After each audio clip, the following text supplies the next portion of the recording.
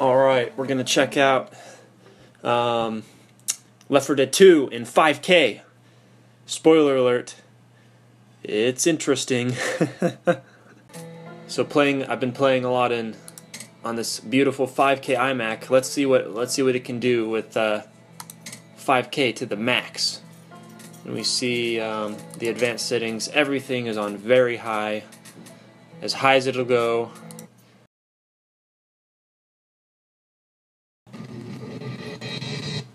Uh oh.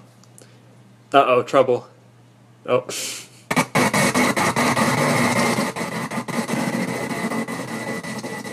Ooh, it's struggling. You think they saw us? They saw it's all right, and they're not coming back. Looked like they were into the mall across town. Oh man.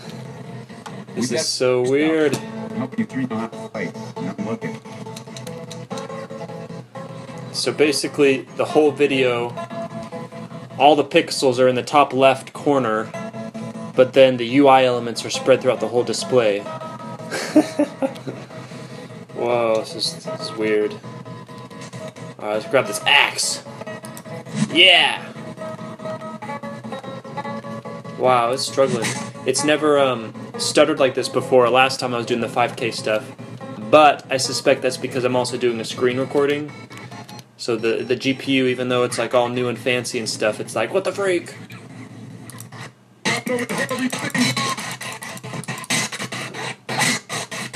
Yeah, yeah, yeah, yeah. Kill them all. Woo! Woo! Yeah, this is pretty bad, guys.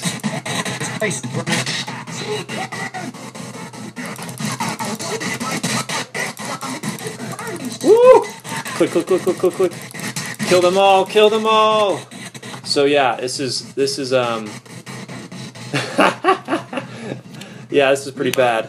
So basically, Left 4 Dead 2 does not like 5K.